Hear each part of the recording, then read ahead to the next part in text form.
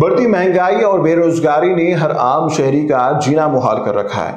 بازار میں کھانے پینے کی اشیاء آسمان سے باتیں کر رہی ہیں۔ قیمتوں نے متوسط اور غریب آدمی کی کمر توڑ رکھی ہے۔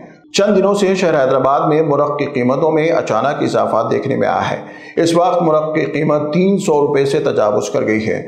اکثر یہ دیکھا گیا ہے کہ جیسے موسم گرما اور شادیوں کا سیزن آتا ہے مرغ کے گوشت کی قیمتوں میں اضافہ ہو جاتا ہے۔ پولٹری مالکان سے جب اس بارے میں پوچھا گیا تو ان کا کہنا ہے کہ اس موسم میں پولٹری کی پیداوار کمی ہو جاتی ہے اور شادیوں و دیگر تقاریب کی وجہ سے مرغ کے گوشت کی مانگ میں اضافہ ہو جاتا ہے، اسی وجہ سے اس کی قیمت بڑھ جاتی ہے۔